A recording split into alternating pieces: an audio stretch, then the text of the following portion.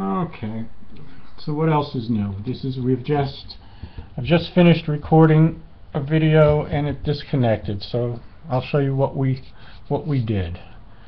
Um, I was showing you what I do on Pose Maniacs, which looks like this right after I get off of Pose Maniacs. These are uh, these are done in 3H, very uh, very lightly, very loosely. Um, do about four pages, four pages minimum, uh, and then you can see did these. I've got one page left from from today, so I'll show you what, what I do on that one. I was explaining how I, I just catch the contours. Okay, this is like a decorative outline practice or an inking practice, which I do with soft lead. Okay, I'm going to give you the truncated version of this.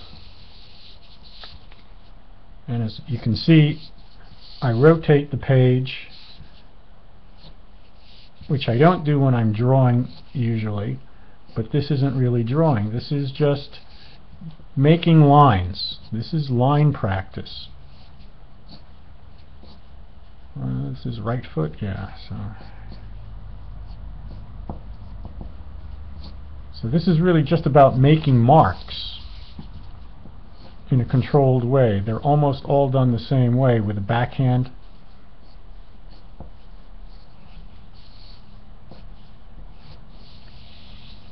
You see what I'm doing? Yeah. And the other thing that I explained is when I do these, I try to do them with a feathering stroke, not an inking feathering stroke, just a feathering stroke, which means a stroke that that is done either light to hard or hard to light so it has an emphasis somewhere along the line could be in the middle could be at the ends doesn't make a difference but it does make a difference in terms of this. Um, hard to soft boom right? Like this. Hard to soft the other way like that.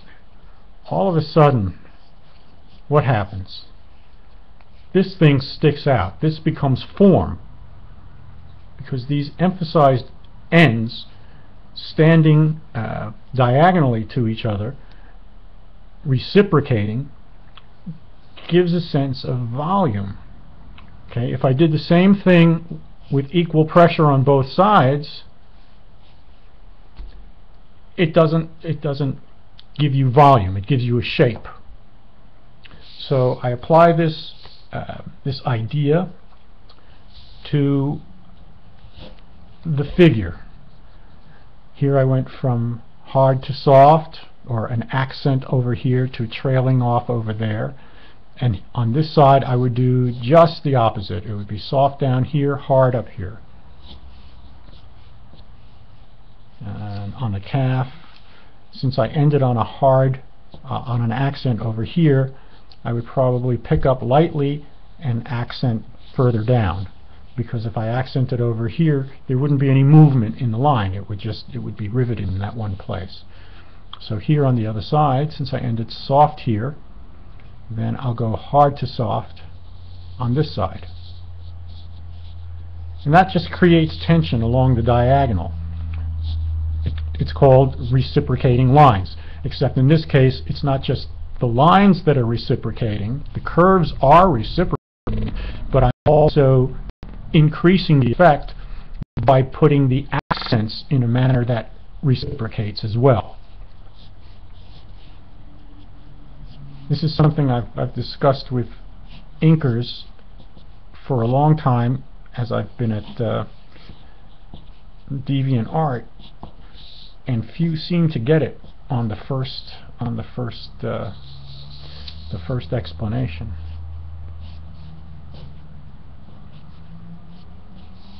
Okay, so that's that's what I was doing. Um, maybe it's safe to go just a little longer. Probably not. Okay, so that's the drawing practice. That's that's how I use my drawings. In the morning, I do my figure sketching at Pose Maniacs. Then I use the figure sketches for a kind of an inking practice. And right now I'm inking with soft lead, but there's no reason why, well, there is a reason why right now. I don't have any ink. Usually what I would do is I wouldn't ink with lead, I would ink with, with ink. Don't have any ink to waste right now. So I gotta save that. Okay. Let's see what we got.